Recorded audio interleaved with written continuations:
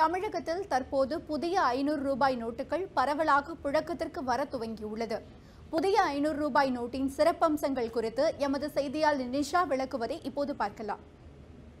பழைய ஐநூறு மற்றும் ஆயிரம் ரூபாய் நோட்டுகள் தடை செய்யப்பட்டதை அடுத்து புதிய ஐநூறு மற்றும் இரண்டாயிரம் ரூபாய் நோட்டுகள் புழக்கத்திற்கு வந்துள்ளன. இதில் புதிய ஐநூறு ரூபாய் நோட்டு சமீபத்தில் புழக்கத்தில் வந்துள்ளது. அதோட ஃபீச்சர்ஸ் பார்த்தோம்னா வழக்கமாக எல்லா இந்தியன் கரன்சிலையும் இருக்கிற மாதிரி ஆர்பிஐ கவர்னரோட சிக்னேச்சர் இந்த புதிய ஐநூறு ரூபாய் நோட்டில் இருக்குது. பழைய ஐநூறுரூபா நோட்டில் பார்த்தோம்னா மகாத்மா காந்தியோட பிக்சர் வந்து இந்த இந்த சைட் கார்னரில் இருந்திருக்கும். ஆனால் அதை வந்து இப்போ கொஞ்சம் சென்டருக்காக மூவ் பண்ணியிருக்கிறாங்க.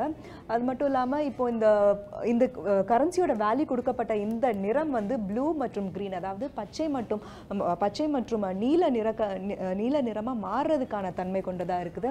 அதே மாதிரி இந்த இடத்துல மகாத்மா காந்தியோட ப ப- ஓட பிக்சரும் இந்த கரன்சியோட வேல்யூவும் வாட்டர் மார்க்கில் கொடுக்கப்பட்டிருக்கு.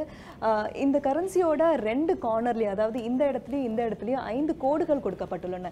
இது வந்து பார்வையற்றோர் வந்து இந்த கரன்சியை ஐடென்டிஃபை பண்ணுறதுக்கு ஹெல்ப்ஃபுல்லாக இந்த மாதிரி ரெண்டு கோடுகள் கொடுக்கப்பட்டுள்ளன. அது மாதிரி இந்த கரன்சியோட ரிவர்ஸ் சைடில் பார்த்தோம் அப்படின்னா ஸ்வச் பாரத்தோட கேப்ஷன் மற்றும் அதோட லோகோ வந்து கொடுக்கப்பட்டிருக்கு.